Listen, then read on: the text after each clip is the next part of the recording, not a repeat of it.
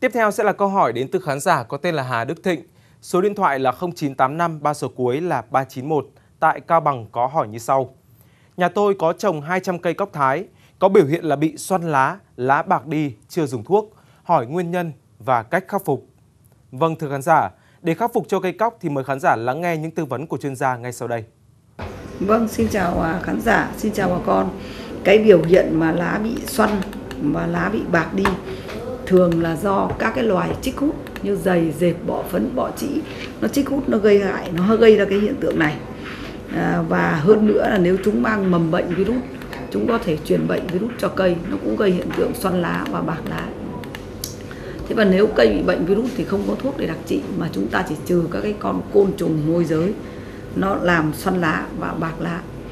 Thế thì bây giờ bác phải theo dõi à, xít sao khi thấy chúng xuất hiện là chúng ta phải phun ngay bằng một trong các thuốc trừ chích hút ví dụ thuốc có hoạt chất sulfosaflor hoặc dinotefuran hoặc nitempiram hoặc thiamethosam acetamiprid Vậy chúng ta có thể sử dụng các cái thuốc này phun các cái con côn trùng chích hút gây ra hiện tượng xoăn lá, bạc lá.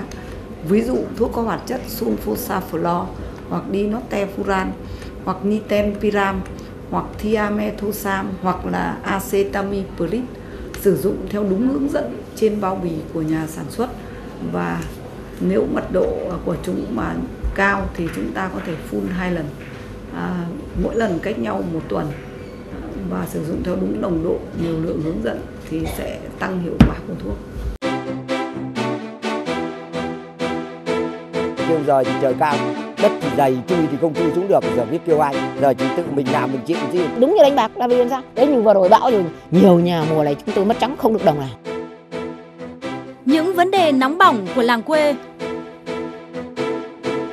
Những kỹ năng và tri thức để phòng vệ những con đường nông dân khởi nghiệp và sự nỗ lực không mệt mỏi. Thông qua kênh VT16, tôi đã tìm hiểu được rất nhiều về những cái phương tiện sản xuất trên lĩnh vực nông nghiệp. Học được nhiều cái, cũng đi lên cũng có nhiều kinh nghiệm trong cái việc trồng trọt. Phân tích, bình luận với các chuyên gia uy tín. Với ta họ rất dễ dãi nhưng mà cái điều đó lại biến chúng ta trở thành sự luống của không chuyên nghiệp. Anh muốn giữ được thương hiệu thì anh phải có chiến lược dài về cái sản phẩm của mình nông nghiệp, nông dân, nông thôn đang chuyển mình như thế nào. Nông thôn chuyển động 6 giờ 10 phút hàng ngày, phát lại vào 14 giờ 15, 21 giờ 40 trên 3N VTC 16.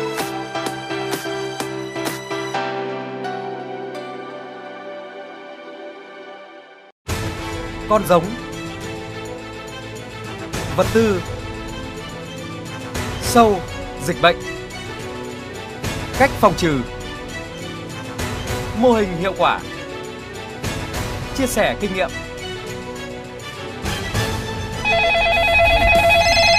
Alo, VTC 16 xin nghe ạ.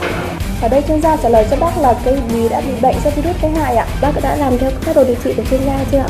Bác chưa theo dõi được chương trình ạ? Vâng, vậy bây giờ bác có thể chuẩn bị sẵn giấy bút ạ. Cháu sẽ đọc lại lời tư vấn của chuyên gia cho bác ngay bây giờ ạ. Mọi vướng mắc của bà con trong quá trình sản xuất nông nghiệp sẽ được các chuyên gia uy tín trong ngành tư vấn, giải đáp. Tổng đài tư vấn nông nghiệp 1900 6145 luôn sát cánh cùng nông dân Việt Nam.